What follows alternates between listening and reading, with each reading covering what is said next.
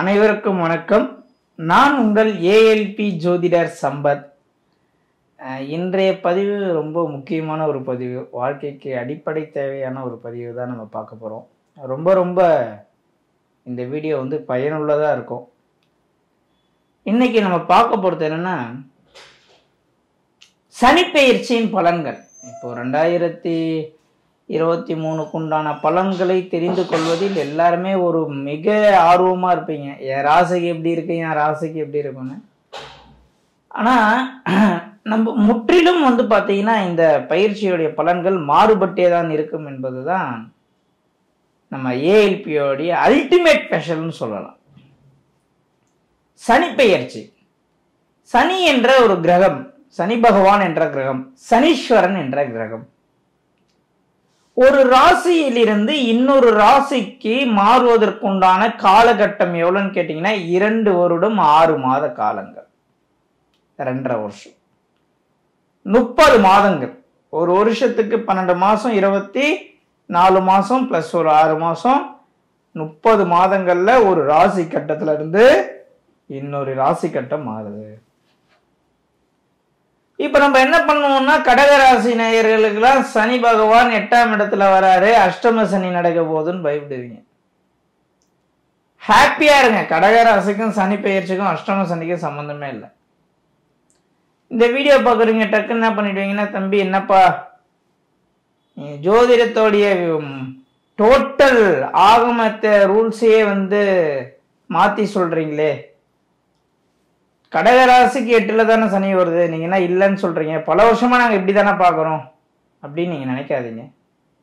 பல வருஷமா அப்படிதான் பாக்குறோம் இல்லைன்னு சொல்லணும் ஆனா அந்த முறையையும் இன்னும் கொஞ்சம் ஃபைன் டியூன் பண்ணி மாத்தி பார்க்கணும் அப்படின்றது தான் நம்ம ஏஎல்பியோடைய அல்டிமேட் அங்கதான் இருக்கு. ஏன் சொல்றேன் அப்படின்னா சந்திரனுக்கு நம்ம பயிற்சியை வந்து வச்சு என்ன பண்றோம்? நம்ம பிறந்த கால சந்திரனுக்கு வச்சு சனி பகவான் எங்க மூவ் ஆகுறாருன்னு பார்க்குறோம் அது சரியான முறையான்னு கேட்டிங்கன்னா சரியான முறை இல்லை. காரணம் என்னன்னா ஒரு ஜாதகர் கடக ராசியில பிறந்திருப்பீங்க.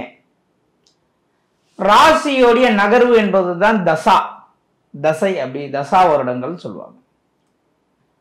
ஒரு நூத்தி இருபது காலம் நூத்தி இருபது வருடம் வந்து ஒரு மனிதனுடைய ஆயுள் இந்த ஆயுள் வந்து பார்த்தீங்கன்னா மொத்த தசையையும் கூட்டினீங்கன்னு வச்சுக்கிங்களேன். கேது தசை சுக்கர தசை சூரிய தசை சந்திர தசை செவ்வாய் தசை ராகு தசை குரு தசை சனி தசை புதன் தசை எல்லாத்தையும் கூட்டினீங்கன்னா நூற்றி இருபது வருடங்கள் வரும். ஒரு மனிதன் நூற்றி இருபது வருடம் வாழ வேண்டும் என்பதுதான் விதி. அதில் அஷ்டம சனி கண்டச்சனி பாதச்சனி கொங்குச்சனி அர்த்தமாஷ்ட சனி அஷ்டம சனி எப்படின்ற காலகட்டங்கள் ஒரு மனிதன் அறுபது ஆண்டு காலங்கள் சனியுடைய தாக்கத்தில் வாழணும் என்பது விதி. இப்போ இந்த சனி பகவான் எப்படி தண்டனை தருவார் அப்படின்னு கேட்டீங்கன்னா ஆல்ரெடி நம்ம செஞ்சு முடிச்சு வச்சிருக்கோம் இல்லையா பாவ கணக்குகள். அதாவது ஆல்ரெடி செஞ்சு முடிச்சிட்டோம்.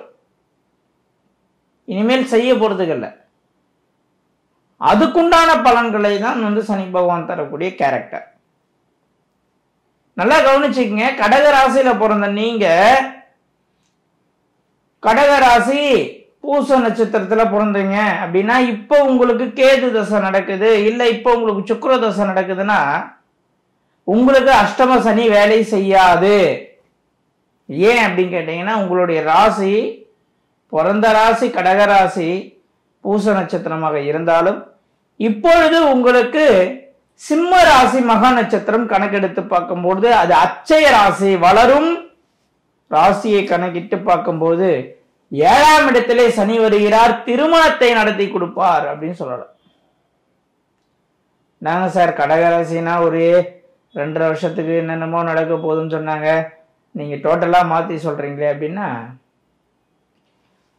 உங்க வீட்டுல யாருன்னா ரிஷப ராசியில ரோகிணி நட்சத்திரத்துல பிறந்த ஒருத்தவங்களுக்கு ராகு தசை நடந்திருந்தா கடந்த ரெண்டரை வருஷம் அவங்க காலகட்டங்கள் இப்போ மிதுன ராசிக்கு அஷ்டம சனின்னு சொன்னாங்க. ஆனா மிதுன ராசியை விட ரிஷப ராசியில் பிறந்த ஒருவர் ரோகிணி நட்சத்திரம் தற்போது அவருக்கு வந்து ராகு தசையோ குரு தசையோ நடக்குதுன்னா அவருடைய காலகட்டங்கள் கொடூரமாக இருந்திருக்கும். கடந்த இரண்டரை ஆண்டுகள் எடுத்து பாருங்க ரிசர்ச் செஞ்சு பாருங்க.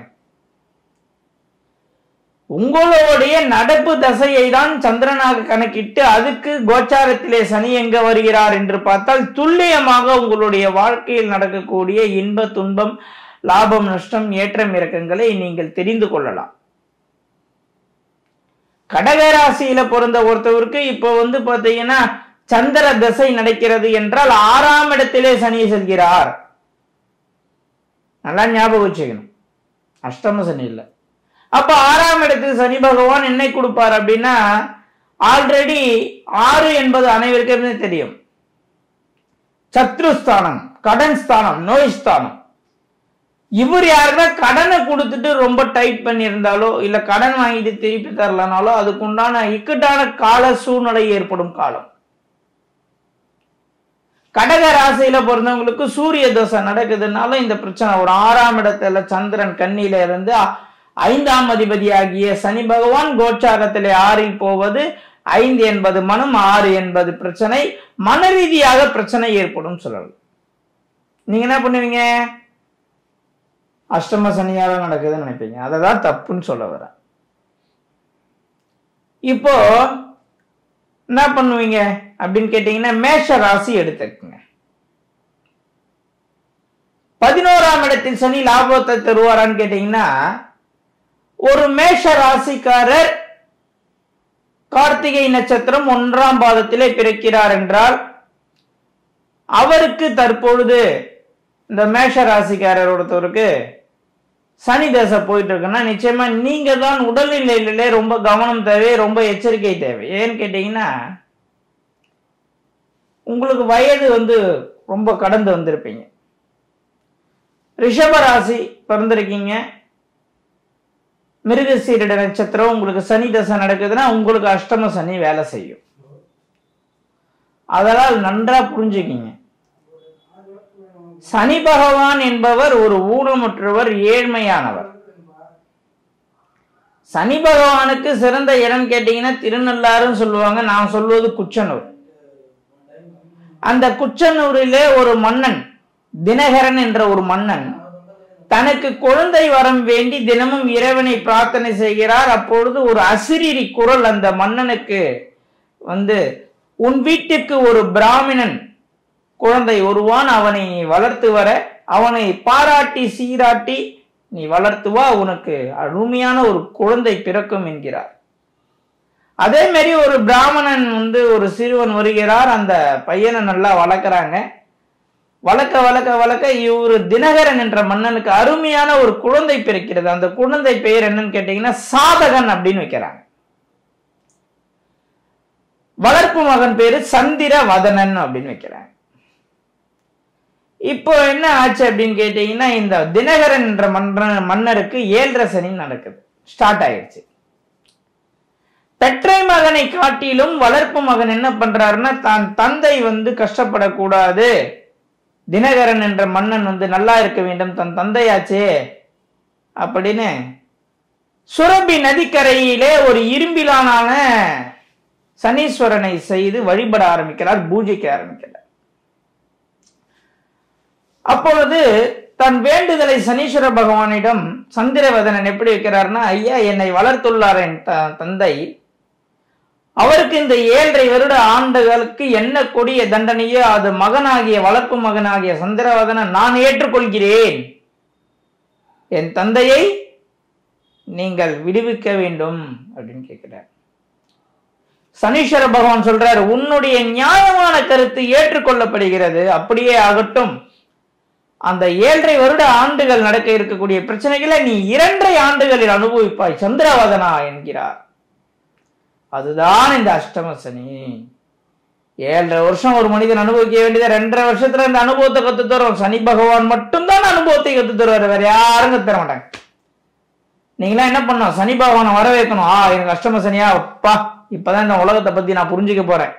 மக்களை பத்தி புரிஞ்சுக்க போறேன். துரோகிகள் யார்? நல்லவர்கள் யார்? கெட்டவர்கள் யார்? சூழ்ச்சிகள் யார்? முதுவில் குத்துபவர்கள் யார் என்று கண்டுகொள்ளக்கூடிய காலகட்டம் அஷ்டம சனி. அப்ப இது வாழ்க்கைக்கு தேவையா தேவையில்லையா?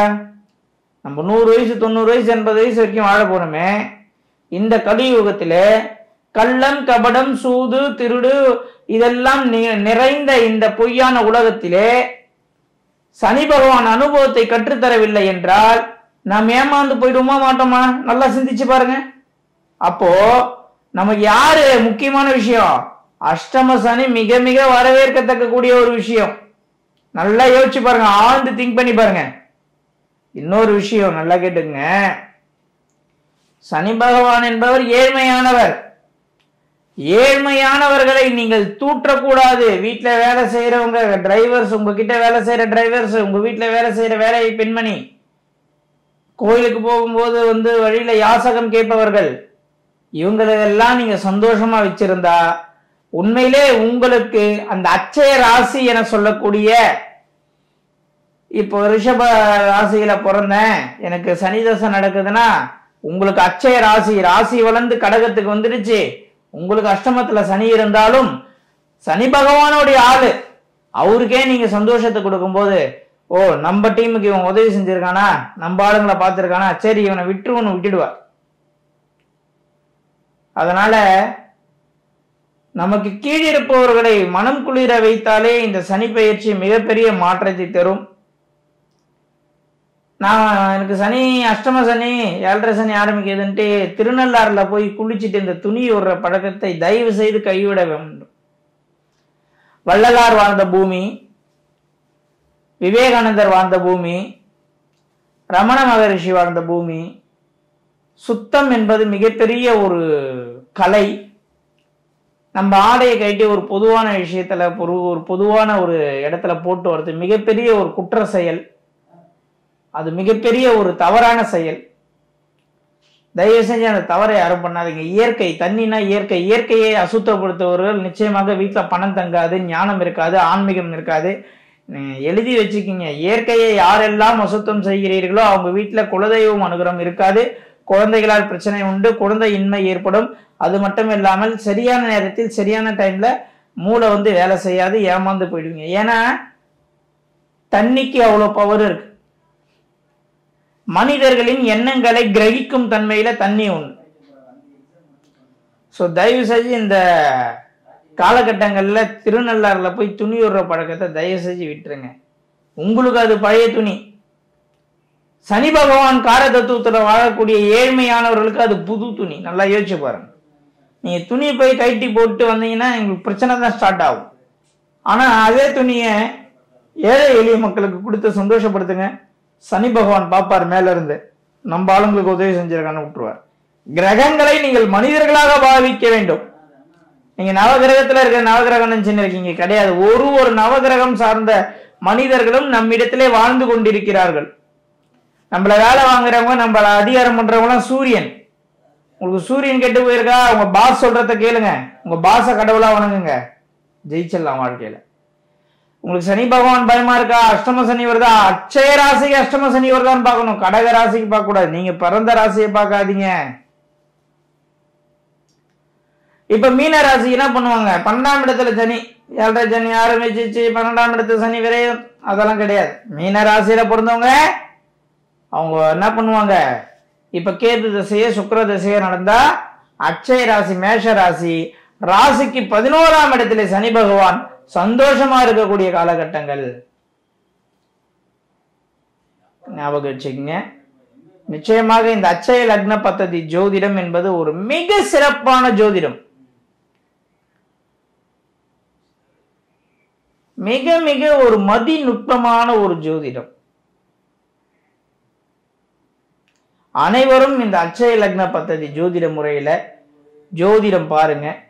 ஜோதிடம் படிங்க. பதினஞ்சு நாள் கிளாஸ் அட்டகாசமாக இருக்கும். உங்கள் வாழ்க்கையை திருப்பு முனையை ஏற்படுத்தும் என்பதில் எந்த விதமான மாற்றமும் இல்லை.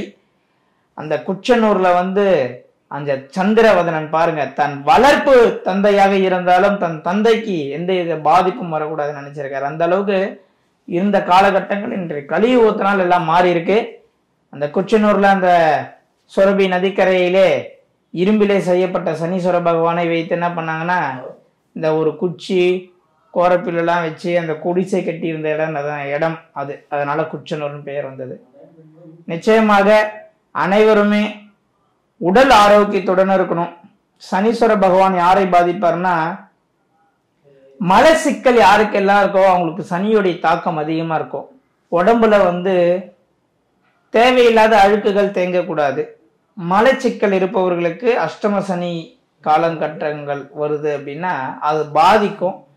உடல் சுத்தமாக வைத்திருங்கள். நிச்சயமாக வந்து உங்கள் வீட்டில் வந்து இந்த குப்பை வண்டி போகுது தூய்மை பணி செய்கிறவங்க வீட்டில் ஒர்க் பண்ணுறவங்க இவங்கள சந்தோஷமாக வச்சிருக்கிற உங்களுக்கு எந்த அஷ்டம சனியும் பாதிப்பை தராது. கோடி கோடியாக கொட்டி பரிகாரம் செய்வதில் பலனில்லை கண்ணு தெரியாதவங்க காது கேட்காதவங்களுக்கு ஒரு மாதம் மல்லிகை சாமான் வாங்கி கொடுத்து பாருங்க. அதில் இருக்க சந்தோஷம் வேற எதுவுமே கிடையாது. மகிழ்வித்து மகிழ். கொடுத்துப்பார். உன்னை கொடு. கண்டிப்பா ஒரு நாள் நீங்கள் விண்ணை தொட முடியும் என்பதுதான் என்னுடைய கருத்து. கொடுக்காம எப்படி தொட முடியும்? ஒருவர் கஷ்டப்பட வேண்டும் என்றால் ஒருவர் சந்தோஷப்பட வேண்டும் என்பது விதி. இதுல நிறைய சூட்சமா இருக்கு. பாருங்க நம்ம வீடியோ தொடர்ந்து பாருங்க. நிறைய விஷயங்கள் நிச்சயமா உங்களுக்கு வந்து நான் பதிவேற்றம் ஒன்று ஒன்றா செய்யணும்னு நினைக்கிறேன். கண்டிப்பாக உங்களுக்கு பிற- இதை ஃபாலோ பண்ணுறவங்களுக்கு மிகப்பெரிய மாற்றம் வரும் என்பதில் எந்த விதமான சந்தேகமும் இல்லை. நன்றி வணக்கம்.